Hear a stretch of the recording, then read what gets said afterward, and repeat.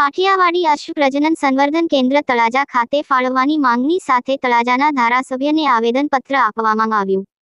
આજે તળાજાના ધારાસભ્ય ગૌતમભાઈ ચૌહાણના કાર્યાલય ખાતે આવેદનપત્ર આપવામાં આવ્યું હતું. આવેદનપત્રમાં જણાવવામાં આવ્યું હતું કે તળાજા તાલુકાના ગામડાઓ અને તળાજા તાલુકાની નજીક આવેલા ગામના રહેવાસીઓ છે. અને કાઠિયાવાડી અશ્વોનું પાલન સંવર્ધન કરીએ છીએ. અન્ય તમામ અશ્વપાલકો તળાજા વિસ્તારમાં શુદ્ધ કાઠિયાવાડી વાળી અશ્વ ઓલાદનું સંવર્ધન થાય તેવી તેઓ આકાંક્ષા અને ઉત્સાહ ધરાવે છે.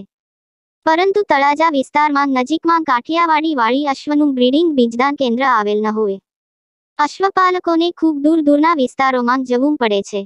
જેનો સમય વાહનભાડું વગેરેનો ખર્ચ વધી જાય છે. વળી મુસાફરી દરમિયાન અશ્વને વાહનમાં લઈ જવા દરમિયાન પણ ઈજાઓ થવાની શક્યતા રહે છે. અને અંતે આવા સંજોગોને ધ્યાનમાં રાખી અશ્વપાલક દૂર જવાનું માંડી વાળીને. પોતાની શુદ્ધ ઓલાદની કાઠિયાવાડી ઘોડીઓને મને કમને તળાજામાં જ નજીક ઉપલબ્ધ હોય તેવા. અન્ય પ્રજાતિના અશ્વથી અથવા મિક્સબ્રીડ અશ્વથી ઘોડી દોરાવીને બીજદાન સંતોષ માને છે. અને અશ્વ શુદ્ધ કાઠિયાવાડી ઓલાદના નથી હોતા જેથી શુદ્ધ ઓલાદનો વંશ વેલો ઉતરતી કક્ષાના થાય છે. તળાજા પંથકમાં અશ્વની આશરે ત્રણસો જેટલી વસ્તી છે. હાલમાં તળાજા શહેરમાં આવેલ પશુ દવાખાનામાં વાળી અશ્વ તથા તેનું નિરણપુળા વગેરે રાખવા માટે પણ વિશાળ જગ્યા ઉપલબ્ધ છે.